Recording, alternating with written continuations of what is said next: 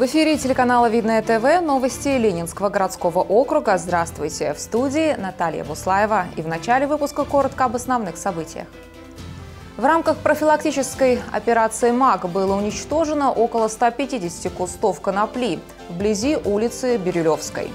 Ранее на данном участке, да, были э, уничтожены также посевы конопли.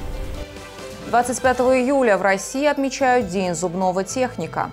Я моделирую цементные мосты, цементные коронки плюс э, промежутки, где отсутствуют зубы. В Московской области прошла акция «Ночь в парке».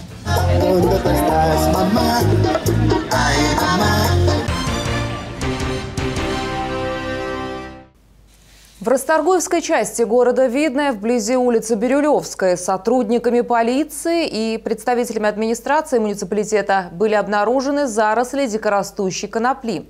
О месте произрастания наркосодержащего растения стражам порядка сообщили местные жители.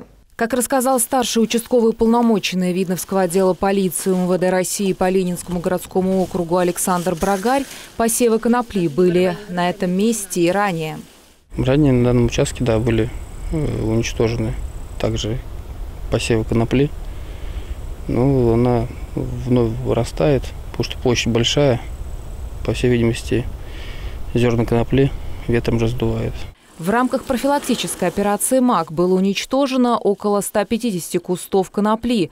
Участковые уполномоченные удаляли растения вместе с корнем и сжигали. Изъятые образцы были отправлены на химическое исследование. Согласно заключению эксперта, подтвердилось, что это марихуана. Совместно э, с сотрудниками полиции э, каждый год э, работаем по таким местам. Ну, это вот минимум два у нас таких есть. И мы работаем именно в летний период, это, как правило, июль-август, во избежание скопления там людей наркозависимых, которые приезжают в наш округ, причем это не только жители Ленинского а, муниципалитета, но и соседних. Бывает, что из Москвы приезжают. Поэтому мониторим ситуацию, держим руку на пульсе. На территории Ленинского городского округа ежегодно проводятся профилактические мероприятия, в рамках которых полицейские пресекают правонарушения в сфере незаконного оборота наркотических средств растительного происхождения, а также выявляют и ликвидируют незаконные посевы и дикорастущие растения, содержащие наркотические вещества.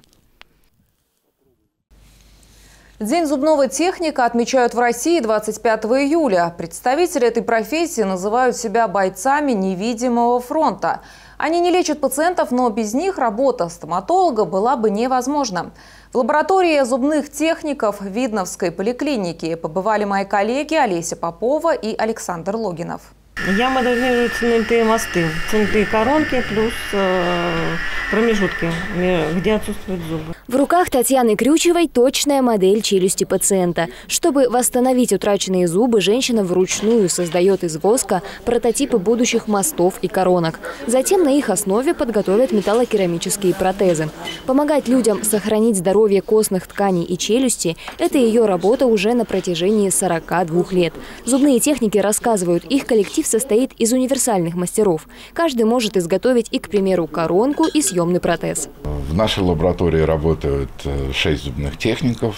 Э, лаборатория – это кузница э, тех изделий, которые определяет врач и снимает слепки, обтачивает, составляет план лечения. Затем, значит, оттиски поступают в лабораторию, и зубной техник уже на основе оттисков изготавливает или съемные протезы, или металлокерамические, несъемные э, конструкции. Светлана Семенова в профессии тоже более 40 лет. Ее задача на неделю – изготовление съемного протеза. Сначала кропотливая работа воском, затем примерка, а после – создание итогового образца. Очень довольна своей профессией. Профессия шикарная ну, если с любовью к ней относиться, то это прекрасная профессия, потому что очень много доброго делаем для людей, которые физически просто без не обходится без зубных протезов. Профессионалы делятся, чтобы стать зубным техником, недостаточно знать основы медицины и стоматологии. Важно понимать все тонкости стереометрии, то есть уметь мыслить в 3D-формате. Именно поэтому желающих поступить на эту специальность просят не только продемонстрировать знания биологии и химии, но и нарисовать или слепить, например, модель зуба. Кстати, зубные техники также помогают ортодонтам в исправлении прикуса. Анна Попова специализируется на изготовлении пластин и винтов. Слепки, а, отливают модели, пишут наряд, какую конструкцию хотят, присылают мне. Дальше мой процесс. Вот конструкция, проволока, вся лигатура. Дальше пластмасса, обработка, полировка. В арсенале зубных техников видновской стоматологии не только инструменты для ручной работы, но и современное оборудование. Все чаще пациенты выбирают вместо классического слепка 3D-сканирование. Точная модель челюстной системы создается в специальной программе, а прототипы будущих протезов делают не вручную из воска, а печатают на 3D-принтере. За этими технологиями будущее. Однако даже новейшие разработки и программы эффективны только под управлением профессионала своего дела – зубного техника. Олеся Попова, Александр Логинов, Екатерина Давлятова, Видное ТВ. Они не боятся трудностей, преодоления препятствий, покорения высоты, спартанские условия. Все это привычное дело для воспитанников детского военно-патриотического клуба «Вятичи», базирующегося в селе Остров. Что же привлекает мальчишек и девчонок, узнала наш корреспондент Екатерина Борисова. Здесь много, как в настоящей армии. Ранний подъем, жесткий распорядок дня, постоянные тренировки в зале и на свежем воздухе, марш-броски по пересеченной местности. Ребятам просто некогда сидеть в интернете и залипать в смартфонах. Их день расписан буквально по минутам. Задача учить детей быть самостоятельными, принимать решения, родину любить. Патриотизм воспитывается не только через э, теоретические там, разговоры в классах.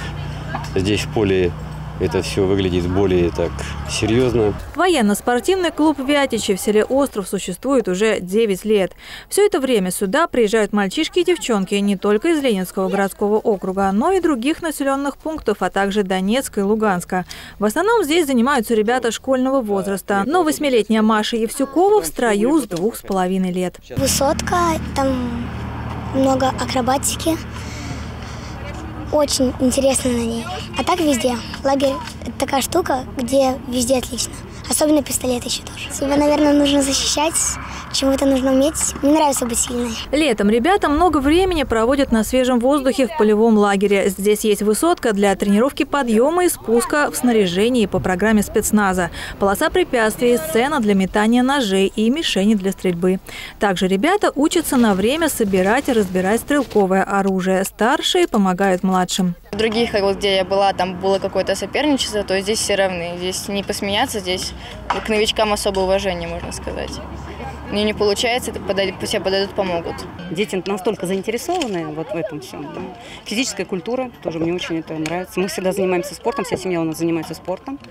Вот, и принимаем участие здесь тоже всегда. Ребята осваивают приемы армейской самообороны, айкиджитсу и айкидо, а недавно заработал клуб «Сапсан» по тэквондо. Каждая смена не обходится без марш-броска к Москве-реке. Идем на обелиск. Здесь в острове обелиск. Четыре героя Советского Союза с острова на весь Ленинский район. Ой, на весь Молоковское поселение 5 героев, а с острова 4. Потом оттуда мы идем на крестьянскую усадьбу. Там у нас экскурсия. Потом мы идем на Москва-реку. Там они сами на маленьких костерках разогревают тушенку. Там у нас такой обед. Смена длится от 7 до 10 дней. В конце обязательно открытый урок для родителей, где ребята показывают, чему научились за время полевых занятий. А еще уха в армейском котелке общение, песни и чтение патриотических стихотворений около костра. Екатерина Борисова, Кирилл Иванов, Екатерина Давлятова. Видно ТВ. Впервые в эти выходные в Московской области прошла акция «Ночь в парке». 64 подмосковных площадки для спорта и отдыха приняли участие в этом масштабном фестивале. Сотни жителей Видного поддержали творческий проект и с удовольствием провели летний вечер на свежем воздухе. В Центральном городском парке отдохнула и поработала наш корреспондент Галина Житкова. Представители Министерства культуры и туризма Московской области выступили с предложением по-новому проводить работу на универсальных площадках для отдыха и запустили собственную акцию. Инициаторы решили не останавливаться на проведении ночи в музеях, а шагнули чуть дальше и пригласили жителей региона провести время в парках. Сегодняшний праздник веду, ведут э, представители нашей команды КВН, достаточно известные даже не только в Московской области, но уже начинают ребята выходить на уровень России, что приятно. Вот. Э, также интересным событием, я так думаю, будет сегодня конкурс телеведущих. А, это совершенно новая форма работы. Посмотрим, как пройдет. В Центральном парке города Видное жителям предложили разнообразную программу отдыха. Активности на шести отдельных площадках привлекали внимание как детей, так и взрослых. Пока мальчишки и девчонки осваивали киберспортивную территорию, мамы и папы увлеченно танцевали сальсу.